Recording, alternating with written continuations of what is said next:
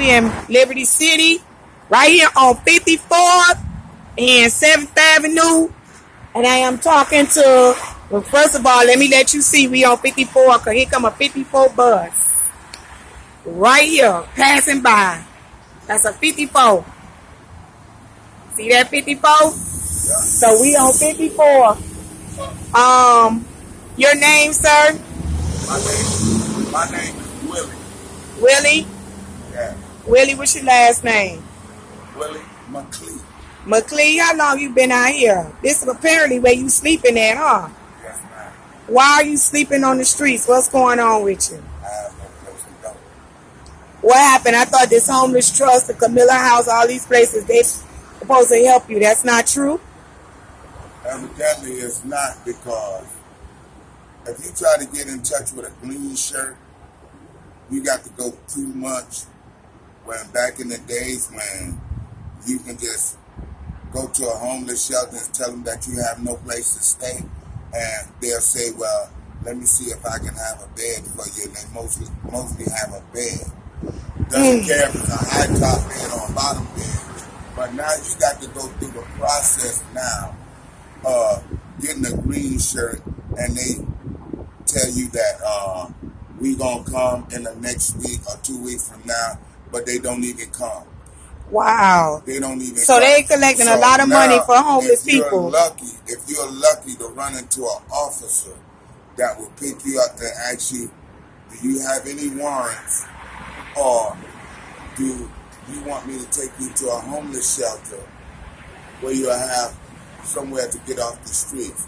Most of them say yeah, but the majority says no Why they say no? because it's not it's not working for them. It's To be in the homeless shelter? To be in the homeless What is shelter. what is being in a homeless shelter like? Okay, being in the home, homeless shelter like it's like uh, they really too much is not. All they're gonna do is feed you, and after they feed you, they give you a shower and they tell you, well, you can go where you want to go. They don't help you get employment. They ain't trying to help. They want you to work. Okay, so they don't help you get work. No, they just give you a piece of paper and tell you just how you came in. That's how you can leave out, but at the same time, they won't give you no tokens or nothing to get around. They won't give you no bus card to get around. Well, how long you been homeless I've been homeless for like four years now. and sleeping out here, Sometimes I sleep under the bridge. and you ain't got no help yet. You don't have no job. I don't have no job. Like, uh, they won't come to me. I don't know why they won't come get me. Well, would you like to have a job? I, I would like to have a job and I would like to have a place to stay. That's why I sleep out on front streets like this here for people to see me. Y'all, we need to help this man. I swear to God, this don't make no sense. He a healthy black man. How old are you? I'm 59. I just had a birthday. Did you was you in the military? No, man. No. Well, he wasn't in the military, but he 59 year old healthy black man and don't have a place to stay on caught hard times. What when you first became homeless? How did that happen? Were you working somewhere? Yes, I was working. And when I came to Miami, I was, I had got transferred from a job in New York to here.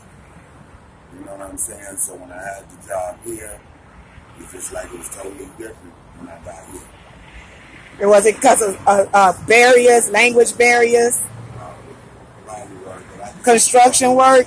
Yes, uh, uh, most of the time they would take the repeats that of taking the regular guys that they always, you know what I'm saying? And they always talking about they hiring for construction, right? Yeah. Don't they have a? oh, You already have your OSHA card, I have my OSHA card, I have everything. and you still can't get a construction job, and they doing all this building in the city, right. especially on 62nd. They building Liberty And Square and right the here.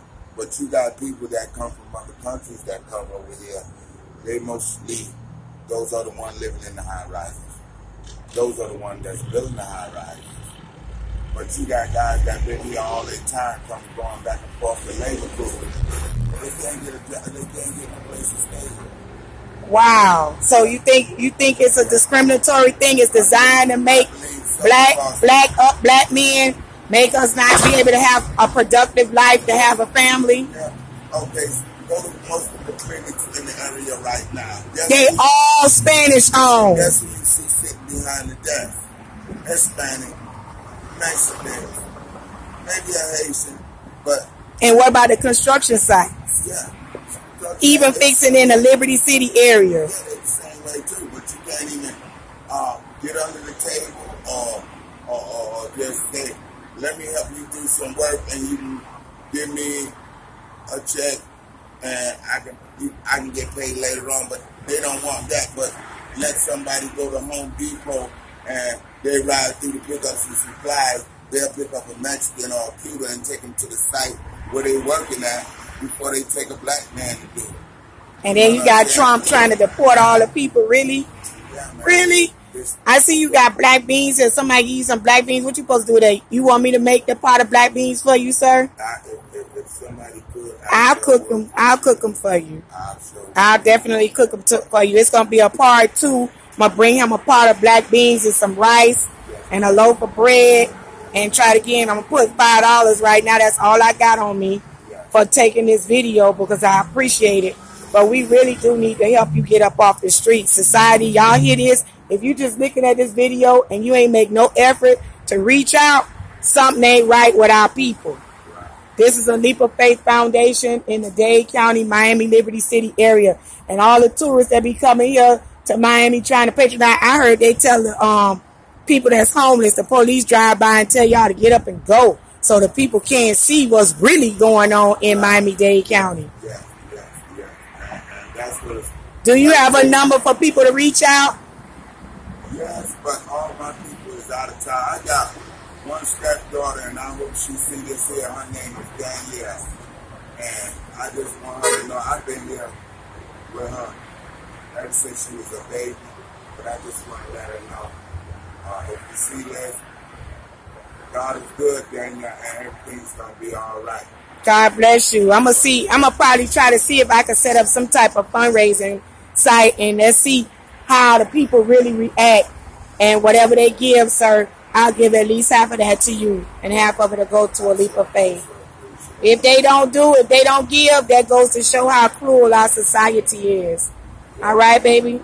God bless you, sir. Thank you, Mr. Mc, Mr. McLean. Thank you.